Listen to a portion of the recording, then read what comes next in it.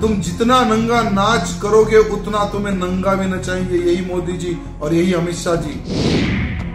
जान लो कि आज मोदी जी खामोश है, इसका मतलब ये नहीं कि कुछ नहीं करेंगे। तुम लोगों की खाल उधर देंगे मोदी जी और अमित शाह जी। ये भी बात ध्यान रखो।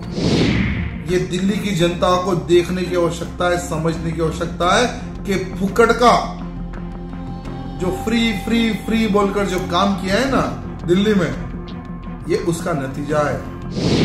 कल दिल्ली में नागरिक संशोधन बिल के खिलाफ षड्यंत्र पूर्वक धरना प्रदर्शन आगजनी की गई।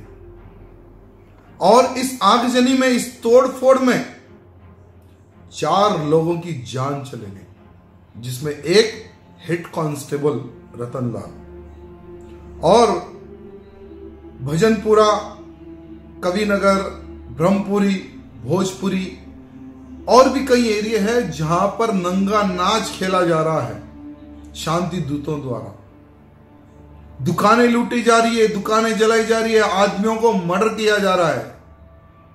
ये दिल्ली की जनता को देखने की आवश्यकता है, समझने की आवश्यकता है कि फुकड़ का जो फ्री फ्री फ्री बोलकर जो काम किया है ना दिल्ली में, ये उसका नतीजा है। और देशद्रोहियों को सर पे चढ़ाने का नतीजा ही है।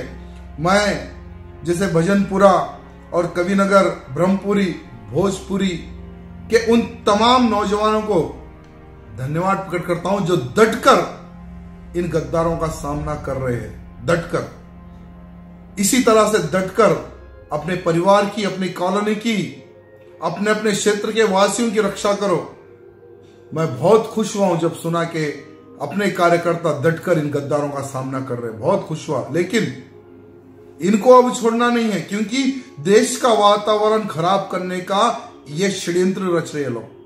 गंदा षड्यंत्र। ये लोग सोच रहे होंगे कि इस तरह से करने से मोदी जी, अमित शाह पैर पीछे ले लेंगे।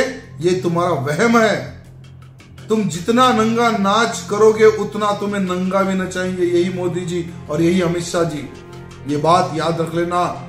भारत देश में छुपे हुए गद्दारों को कहना चाहूँगा। मोदी जी ने सीना ठोककर कहा है कि भारत के मुसलमान को डरने की ज़रूरत नहीं है, फिर भी भारत का मुसलमान बेवकूफ़ बनकर, जानबूझकर इस तरह की घटिया हरकतें कर रहा है।